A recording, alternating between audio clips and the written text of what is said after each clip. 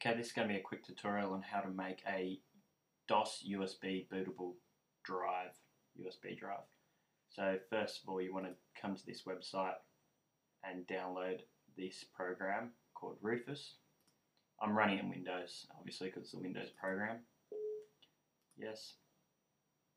So select your USB drive that you want. Leave it on that. I've got FAT, just that FAT default because it's only FAT16 supported this USB drive because it's old, but FAT32 will work for your normal newer drives.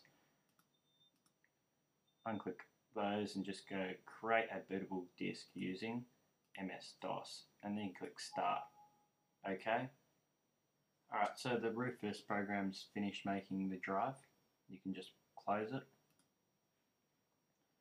Open up the drive and then drag your DOS files across.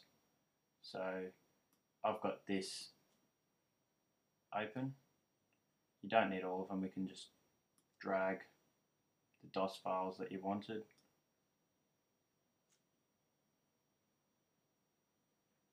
And that's in. All you need to do then is eject the drive and stick it into your computer that you want to use it on um, and it will boot up. Make sure that you change the boot setting so as the computer boots up, you'll have to press a button like delete for most motherboards and then go to the boot section and choose the USB drive, this USB drive to boot from.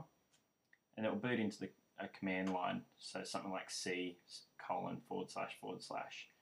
Then you will need to change to the directory, this directory. So you'll have to go CD space DOS, enter, and that will change you into the directory of this, and then you can run the program.